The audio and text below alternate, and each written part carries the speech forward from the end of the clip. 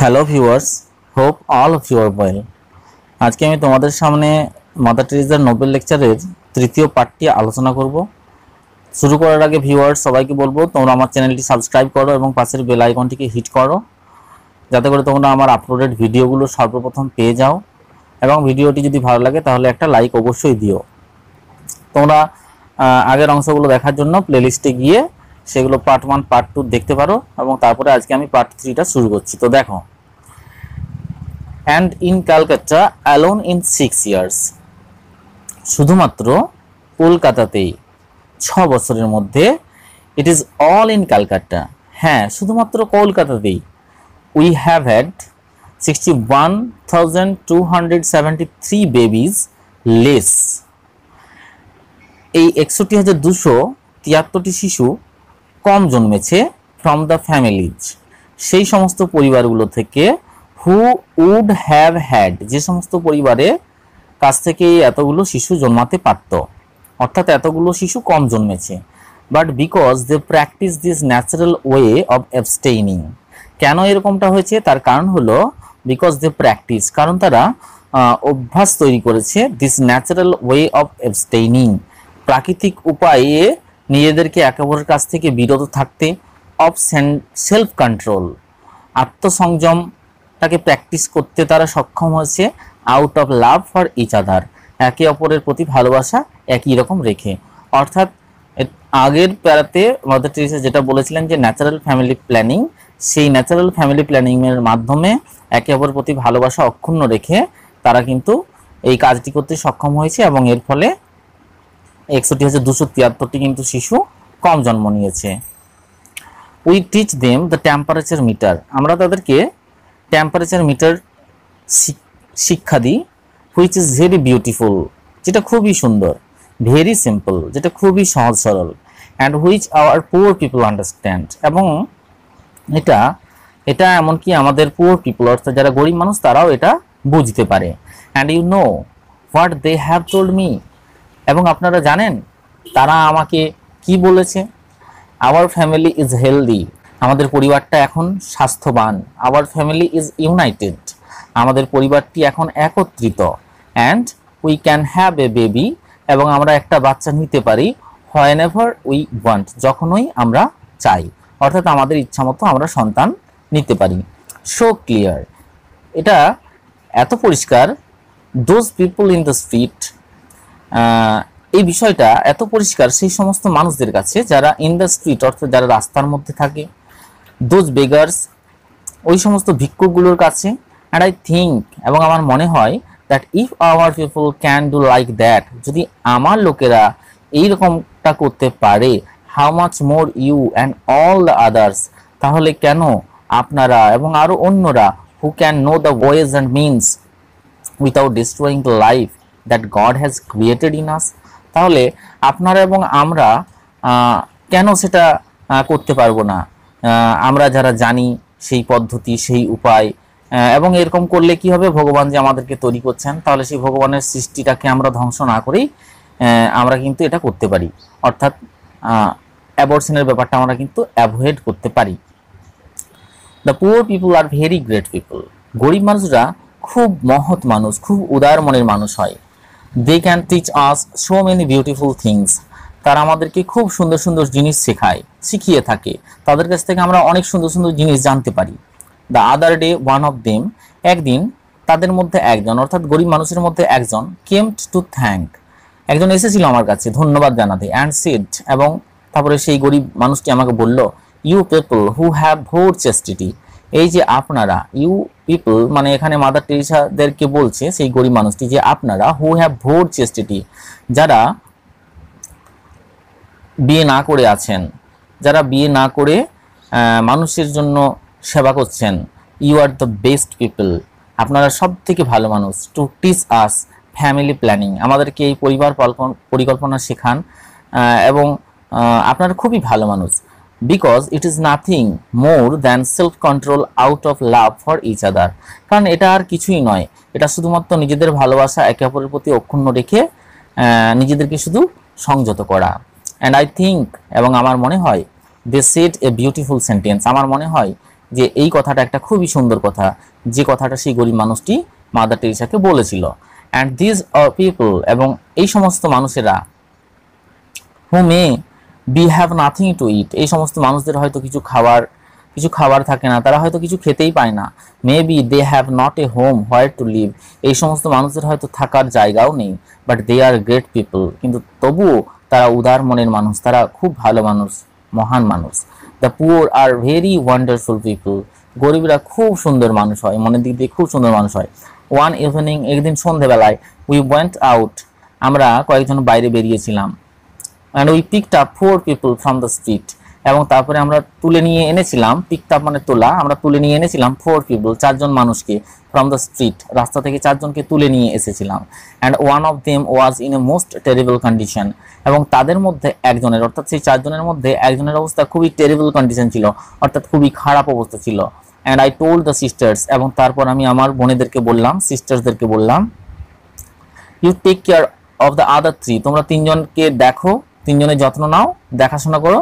I take of this one আর আমি এই লোকটির দেখাশোনা করছি। অর্থাৎ যার অবস্থা খুবই খারাপ ছিল। দ্যাট লুকড ওর্স হ্যাঁ যার অবস্থাটা খুবই খারাপ ছিল। সো আই ডিড সুতরাং আমি করলাম ফর হার তার জন্য আমি করলাম অল তার জন্য আমি সমস্ত কিছু করলাম। অর্থাৎ সেই অসুস্থ, রোগীর জন্য মাদার টেরেসা অনেক কিছু করল। That my love can do অর্থাৎ আমি যতটা ভালোবাসা দিয়ে করতে পারতাম মাদার টেরেসা যতটা ভালোবাসা দিয়ে সেই রুগী মানুষটার সেবা শুশ্রূষা করতে পারতো, ততটাই করল। I put her in bed আমি তাকে ধরে ধরে বিছানায় নিয়ে গিয়ে বিছানায় তুললাম। And there was such a beautiful smile on her face এবং তখন আমি দেখেছিলাম তার মুখে একটা খুব সুন্দর হাসি দেখতে পেয়েছিলাম। She took hold of my hand সেই ব্যক্তিটি আমার হাতটি ধরেছিল। অর্থাৎ দেখো, এখানে দেখো সি দেখে আমরা বুঝতে পারছি সেই বিপন্ন বা সেই সম্পূর্ণ মানে খুব অসুস্থ রোগীটি, সে এক মহিলা ছিল। She took hold of my hand সেই মহিলা রোগী মহিলাটি আমার হাতটি ধরেছিল। As she said one word only এবং তারপরে সে আমাকে একটি কথা বলেছিল থ্যাংক ইউ ধন্যবাদ। অ্যান্ড সি ডায়েড এবং তারপরে সেই মহিলা মারা গিয়েছিল। I could not help but examine my conscience before her আমি হয়তো কিছুই করতে পারতাম না। শুধুমাত্র আমি নিজেকে, নিজের বিবেককে একবার পরীক্ষা করলাম তার সামনে। অ্যান্ড আই আক্সড এবং আমি নিজে নিজেকে জিজ্ঞাসা করলাম জিজ্ঞাসা করলাম হোয়াট উড আই সে আমি কি বলতাম? If I was in her place যদি আমি তার জায়গায় থাকতাম, অর্থাৎ মাদার টিচার বলতে চাইছেন, যে আমি যদি সেই রুগীটি হতাম, যে রুগীটা এইমাত্র মারা গেল, সেই রুগীটা যদি আমি হতাম, তাহলে আমি কি বলতাম?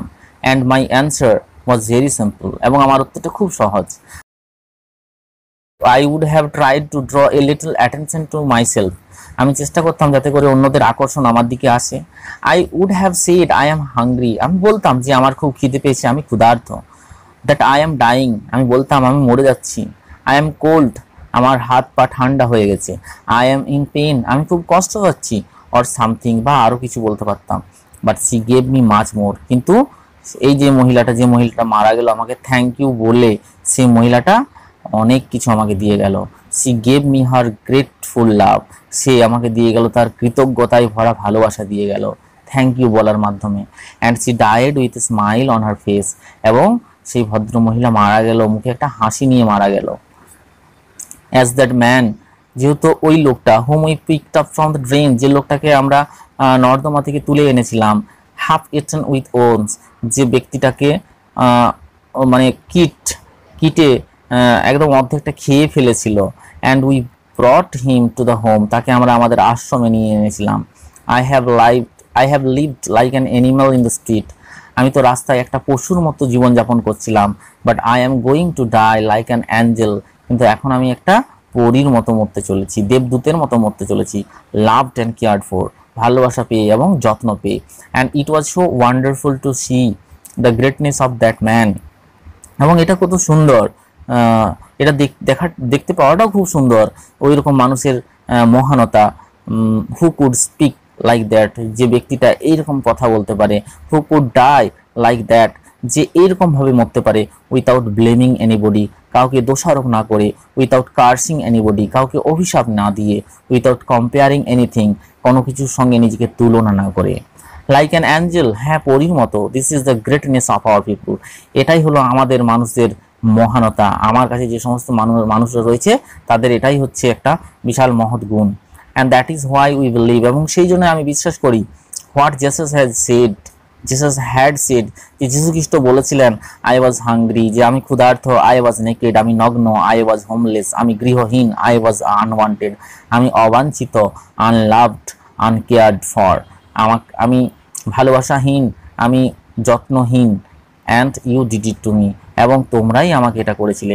অর্থাৎ যীশু খ্রিস্ট মাদার টেরিজা বলতে চাইছেন যীশু খ্রিস্ট সমস্ত মানুষের মধ্যে রয়েছে এবং যে সমস্ত মানুষরা হাংরি ন্যাকেড হোমলেস সবাইকার মধ্যে যীশু খ্রিস্ট রয়েছে এবং তাদের সেবা করা মানেই কিন্তু যীশু খ্রিস্টের সেবা করা।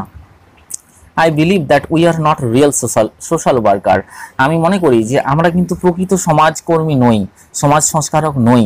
We may be doing social work in the eyes of of the people লোকের চোখে আমরা সামাজিক কাজকর্ম করে থাকতে পারি but we are really contemplatives in the heart of the world কিন্তু প্রকৃতপক্ষে আমরা কিন্তু এই পৃথিবীর বুকে বা পৃথিবীর কোলে কিন্তু আমরা ধর্ম সংক্রান্ত কাজ করে থাকি, ধার্মিক কাজ করে থাকি এক কথায় for we are touching the body of Christ twenty four hours কেননা আমরা স্পর্শ করছি, যীশু খ্রিস্টের শরীর স্পর্শ করছি চব্বিশ ঘন্টায় চব্বিশ ঘন্টায় কিন্তু আমরা যীশু খ্রিস্টের শরীর স্পর্শ করতে পারছি।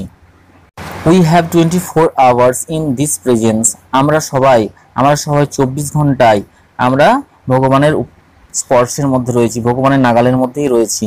And so you and I আপনারাও রয়েছেন এবং আমিও রয়েছি। You too try to bring that presence of God in your family আপনারাও চেষ্টা করলে সেই ভগবানের উপস্থিতি আপনারা নিজেদের বাড়িতে নিয়ে আনতে পারবেন। For the family that prays এবং সেই জন্য সেই পরিবারগুলোকে, অর্থাৎ আপনাদের পরিবারের লোকজনকে প্রার্থনা করতে হবে। প্রেজ টুগেদার একই সাথে প্রার্থনা করতে হবে। স্টেজ টুগেদার এবং একই সাথে বসবাস করতে হবে, থাকতে হবে। And I think that we in our family don't need bombs এবং আমি মনে করি যে আমাদের বমের দরকার হবে না অ্যান্ড গানস এবং বন্দুকেরও দরকার হবে না to destroy to bring peace শান্তি আনার জন্য। জাস্ট গেট টুগেদার শুধুমাত্র একই সাথে সবাই থাকুন লাভ ওয়ান অ্যানাদার একে অপরকে ভালোবাসুন ব্রিং দ্যাট পিস এবং এইভাবে আপনারা শান্তিকে বাড়িতে নিয়ে আনুন। দ্যাট জয় সেই আনন্দকে বাড়িতে নিয়ে আনুন। That strength of presence of each other in the home সবাইকার উপস্থিতির ফলে একটা শক্তি তৈরি হয় বাড়ির মধ্যে। সেই শক্তিকে আপনারা বাড়িতে নিয়ে আনুন। And we will be able to overcome all the evil that is in the world এবং যদি আমরা সবাই এরকম করি, তাহলে এই পৃথিবীর মধ্যে থাকা সমস্ত অশুভ শক্তিকে আমরা সবাই অতিক্রম করতে পারব বা দূর করতে পারব। ঠিক আছে? তা আজ এতটা পর্যন্তই।